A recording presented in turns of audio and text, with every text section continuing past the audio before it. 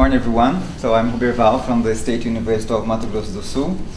Um, I just like to highlight some point that it, you know the importance of this project, specifically for me and for my colleagues in, in Mato Grosso do Sul. Um, I have the honor to be part of this project since 2009, when I was a PhD candidate at University of São Paulo, supervised by Professor Walkyria Monte Mór.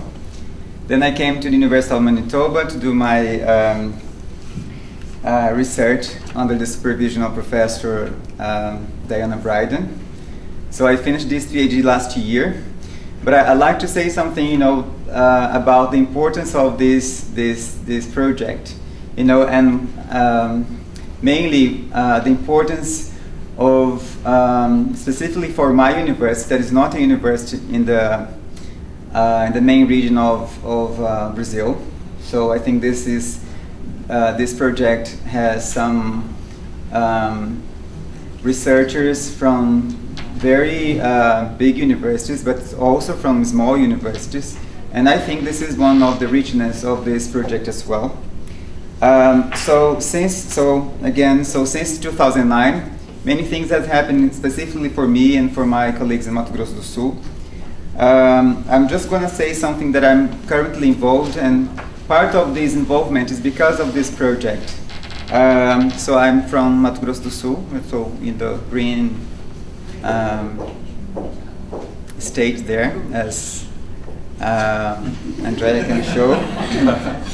so I'm currently a professor at the State University of Mato Grosso do Sul, but I supervise BA and MA students now in specifically on, on literacy.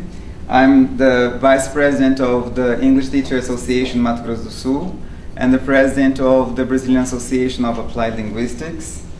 Uh, I'm also uh, currently involved in two projects with the Minister of Education in Brazil and with the Municipal Secretary of Education in Campo Grande. And we are developing a, um, a specific project in collaboration with our colleagues from Glendon. We uh, hosted uh, one BA student, uh, so she is there in, in Mato Grosso do Sul doing her teaching practice.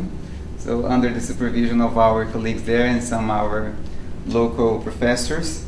Um, so again, um, uh, I'm saying many things I think now about you know many different projects, but I think I like to emphasize the importance of this project to the development of many universities and many other projects in Brazil. So like again, I'd like to thank Professor Diana Brydon for the opportunity for being here and also Professor Walkyria Monte Mór and I think this is a very important project for Brazil and also from Canada, for Canada.